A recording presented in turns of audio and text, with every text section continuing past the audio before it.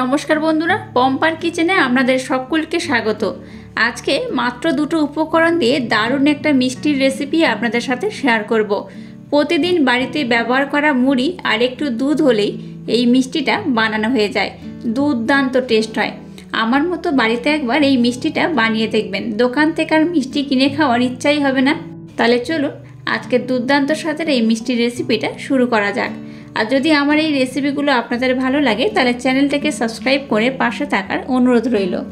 আজকের রেসিপিটা বানানোর জন্য দেখুন, এখানে আমি নিয়ে নিয়েছি। এই যে বাটিটা দেখতে পাচ্ছেন, এই বাটির মাপ করে এক বাটির একটু কম মুড়ি। মুড়িটা কিন্তু একদম ফ্রেশ মুড়ি, নরম মুড়ি নয়। তবে আজকের যে রেসিপিটা বানাচ্ছি, তার জন্য কিন্তু যদি নরম মুড়িও থাকে, সেই মুড়িটা ফেলে দেবেন না। এই রেসিপিটা নরম মুড়ি দিয়েও কিন্তু খুব সুন্দরভাবে বানানো যায়। তো আমি কিন্তু একদম ফ্রেশ মুড়ি নিয়েছি। আর যদি আপনাদের মুড়িটা নরম হয়, তাহলে মুড়িটাকে একটু শুকনো কলায় ভেজে নিয়ে তারপর রেসিপিটা শুরু করবেন। এবার দেখুন, একটা মিক্সির জার আমি নিয়ে নিয়েছি। মিক্সির জারের মধ্যে মুড়িগুলোকে দিয়ে প্রথমে আমি একদম মিহি করে ব্লেন্ড করে নেব। আমি একেবারে সব দিচ্ছি না, অর্ধেক অর্ধেক দিয়ে এটাকে আমি ব্লেন্ড করে নেব। এবার দেখুন, এরকম একটা আমি ছাঁকনি নিয়ে নিয়েছি। আর মুড়িটাকে দেখুন, খুব ভালোভাবে ব্লেন্ড করেও নিয়েছি। এটা ছাঁকনির মাধ্যমে কিন্তু আমি একটু ভালোভাবে চেলে নেব। একদম মিহি করে ব্লেন্ড করলে যেমন হয় সেই রকমই লাগবে। তাই এটাকে আমি একটু ভালোভাবে চেলে নেব, তাহলে কিন্তু মিহি অংশটা পাওয়া যাবে। আর দেখুন মুড়ি যে অংশটা একটু গোটা গোটা থাকবে, সেটাকে আমি আর একবার খুব ভালোভাবে ব্লেন্ড করে নেব। দেখুন, এই অংশটা কিন্তু অবশিষ্ট রয়েছে। এগুলো দেখুন, একটু দানা দানা অংশ রয়েছে। আর নিচের পোর্শনটা দেখুন, একদম কিন্তু মিহি হয়ে গেছে। তো মুড়িটা কিন্তু এইরকম একদম মিহি হতে হবে, তবেই কিন্তু আজকের রেসিপিটা দুর্দান্ত হবে। যাই হোক, এটাকে আমি আর একবার ব্লেন্ড করে নেব। এবার দেখুন, গ্যাসটা জেলে দিয়ে একটা কড়াইতে দুধ দিয়ে দুধটাকে আমি একটু হালকা গরম করতে বসিয়ে দিলাম। দুধটাকে আমি একটু হালকা করে গরম করে নিয়েছি। এবার এই দুধের মধ্যে দিয়ে দেবো এই চামচের দু চামচ মিল্ক পাউডার মানে গুঁড়ো দুধ। এই দুধের সাথে মিল্ক পাউডারটাকে আমি একটু ভালোভাবে মেল্ট করে নেব। আপনারা চাইলে মিল্ক পাউডারের পরিমাণটা কিন্তু কম বেশি করে দিতে পারেন, তাতে কোনো সমস্যা নেই।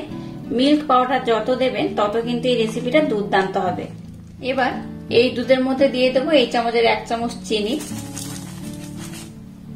দিয়ে দেবো সামান্য পরিমাণে লবণ, এটা অপশনাল, ব্যবহার নাও করতে পারেন। লবণটা দিলে কি হয় যে কোনো মিষ্টি জিনিসের কিন্তু টেস্টটা দুগুণ বেড়ে যায়। তাই আমি এখানে একটু লবণ ব্যবহার করলাম। আপনারা চাইলে কিন্তু লবণটা অ্যাভয়েডও করতে পারেন। তো চিনিটাকে প্রথমে দেখুন, খুব ভালোভাবে আমি মেল্ট করে নেব। আচ্ছা এখানে যদি বলেন মাপের ব্যাপার, তো আমি একটা কথা জানিয়ে রাখি, আপনারা যে যতটা মুড়ি ব্যবহার করবেন, তার উপর কিন্তু মাপ করে এই দুধটা ব্যবহার করতে হবে। আর মিষ্টি যদি একটু কম পছন্দ করেন, তাহলে মিষ্টির পরিমাণটা একটু কম দেবেন।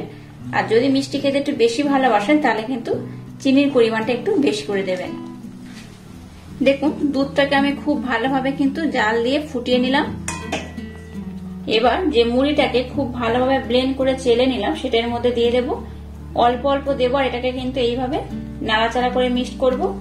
একেবারে খুব বেশি দিয়ে দেবেন না। সম্পূর্ণ ব্লেন্ড করে রাখা মুড়িটা দেওয়ার পর দুধের সাথে আমি খুব ভালোভাবে কিন্তু মিক্স করে নেব। আর যেখানে একটা কথা জানিয়ে রাখি, যদি মনে হয় যে এখানে দুধের প্রয়োজন আছে তাহলে কিন্তু একটু দুধ ব্যবহার করতে পারেন, তাতে কোনো সমস্যা নেই। আর যদি মনে করেন যে মুড়ির পরিমাণটা একটু কম দেবেন, সেটাও করতে পারেন। গ্যাসের ফ্লেমটাকে লো রেখে এটাকে কিন্তু কন্টিনিউ নাড়াচাড়া করতে হবে। এটাকে নাড়াচাড়া করে একটু টাইট ডোতে আমি পরিণত করে নেব। এই পথে এই চামচের এক চামচ এখানে আমি ঘি দিয়ে দেব। ঘিটা দেওয়ার পর আবারও সমস্ত উপকরণের সাথে ঘিটাকে আমি খুব ভালোভাবে মিক্সড করে নেব। ঘিটা দিলে কি হবে? আজকের যে রেসিপিটা বা মিষ্টিটা বানাবো, তার কিন্তু স্মেলটা খুব সুন্দর হবে আর খেতেও কিন্তু দুর্দান্ত হবে। দেখুন, এটাকে কিন্তু আমি খুব ভালোভাবে একটা টাইট ডোতে পরিণত করে নিয়েছি। এটা একদম রেডি হয়ে গেছে। এবার আমি গ্যাসটাকে বন্ধ করে দেব।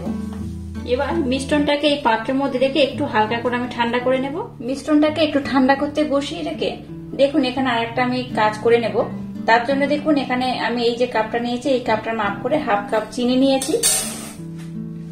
আর নিয়ে নিয়েছি হাফ কাপ জল।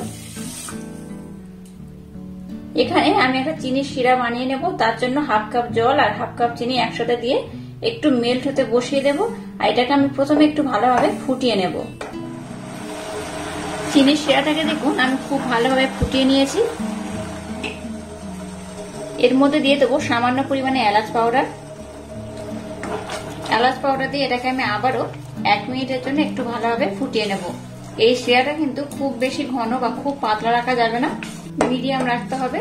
তো শিরাটা কিন্তু আমার একদম রেডি হয়ে গেছে, আমি দেখিয়ে দিচ্ছি কেমন হবে। এই দেখুন, হালকা একটু চিটচিটে ভাব হবে। খুব চিটচিটে করলে হবে না, একটু হালকা চিটচিটে ভাব হবে। সেই অবস্থায় কিন্তু গ্যাসটাকে বন্ধ করে দিতে হবে। চিনির শিরাটা আমার একদম রেডি হয়ে গেছে। এবার আমি গ্যাসটাকে বন্ধ করে দেব। এখানে মিষ্টনটাকে আমি একটু হালকা ঠান্ডা করে নিয়েছি। এবার এটাকে আমি হাত দিয়ে খুব ভালোভাবে মেখে নেব।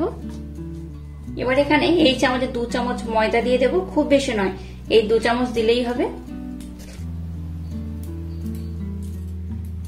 ময়দা দিয়ে এবার সমস্ত উপকরণ খুব ভালোভাবে আমি মেখে নেব। দেখুন মিষ্টনটাকে আমি খুব ভালোভাবে মেখে নিয়েছি।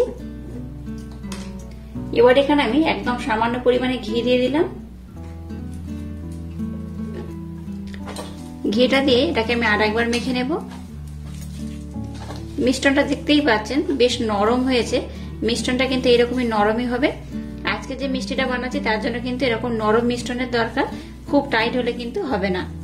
ঘিটা দিয়ে সমস্ত মিষ্টনটাকে দেখুন, আমি খুব ভালোভাবে মেখে নিয়েছি।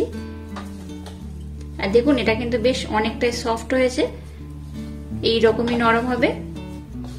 আচ্ছা মিষ্টনটা দেখুন একদম রেডি হয়ে গেছে। এটাকে কিন্তু রেস্টে রাখার দরকার নেই। শুধুমাত্র আমি হাতটা ধুয়ে এসেই কিন্তু মিষ্টিগুলোকে বানিয়ে নেব।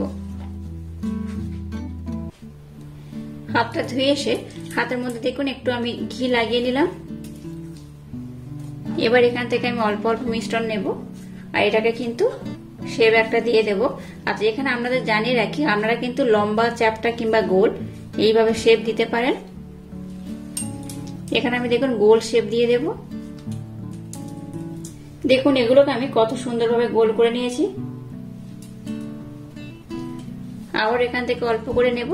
আচ্ছা এই যে মিষ্টিগুলো বানাচ্ছি, আপনারা চাইলে কিন্তু একটু ছোট বড় করেও বানাতে পারেন।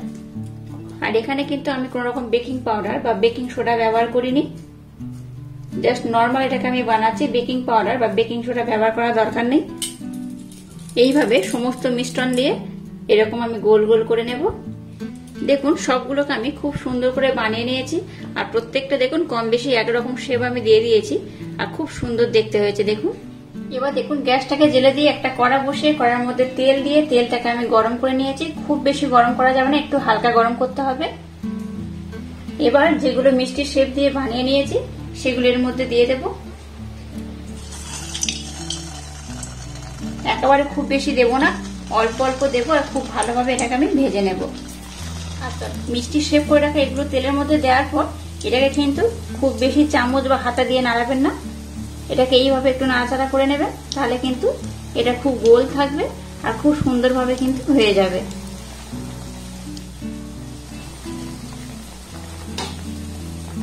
দেখুন গ্যাসের ফ্লেমটাকে লো টু মিডিয়াম রেখে এটাকে আমি খুব ভালোভাবে ভেজে নিয়েছি। এবার এগুলোকে আমি উঠিয়ে নেব। আর একইভাবে সবগুলোকে আমি খুব ভালোভাবে ভেজে নেব।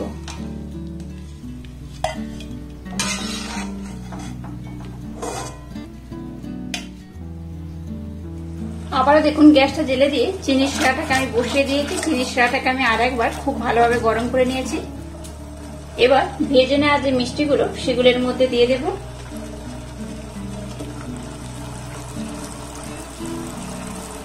এই মিষ্টিগুলো খুব নরম সফট আর তুলতুলে হয়। এগুলোকে সাবধানে দেবেন। এবার গ্যাসের ফ্লেমটাকে লো টু মিডিয়াম রেখে রেখে আমি তিন মিনিটের জন্য একটু ভালোভাবে ফুটিয়ে নেব। এটা নরম হতে বা এর মধ্যে চিনি শিরা যাওয়ার জন্য কিন্তু খুব একটা বেশি সময় লাগে না, খুব কম সময়ে কিন্তু চিনি শিরাটা এই মিষ্টিগুলোর মধ্যে চলে যায় আর খুব সুন্দর খেতে হয়। দুই থেকে তিন মিনিট এগুলোকে আমি খুব ভালোভাবে ফুটিয়ে নিয়েছি। এবার আমি গ্যাসটাকে বন্ধ করে দিলাম। গ্যাসটাকে বন্ধ করে এটাকে ঢাকা দিয়ে আমি কিছুক্ষণ রেখে দেবো। কিছুক্ষণ পর আমি দেখাচ্ছি মিষ্টিগুলো কেমন হয়েছে। দেখুন, মিষ্টিগুলোকে আমি এই পাত্রের মধ্যে উঠিয়ে নিয়েছি। আর মিষ্টিগুলোকে বেশিক্ষণ কিন্তু চিনির শিরার মধ্যে রাখার দরকার হয়নি। আর দেখুন, এই পাত্রের মধ্যে কিন্তু আমি চিনির শিরা নিয়ে নিয়েছি, তবে মিষ্টিগুলো দশ মিনিটের মধ্যে কিন্তু খুব ভালোভাবে নরম হয়ে গেছে। খুব সুন্দর দেখতে হয়েছে, দেখুন। এটা দেখতে যেমন সুন্দর, খেতে কিন্তু তেমনই দুর্দান্ত। অবশ্য বাড়িতে আমার মতো একবার হলেও ট্রাই করবেন, আশা করছি আপনাদের ভীষণ ভালো লাগবে। এবার এটাকে আমি একটা এক্সট্রা পাত্রের মধ্যে সার্ভ করে দেখাচ্ছি, দেখুন কত সুন্দর হয়েছে। এই দেখুন, কত সুন্দর হয়েছে, দেখুন, অসম্ভব সুন্দর হয়েছে। এটা দেখতে যত সুন্দর, খেতে কিন্তু তেমনই দুর্দান্ত। একটা আমি কেটে আপনাদের দেখাচ্ছি, দেখুন কত সুন্দর হয়েছে।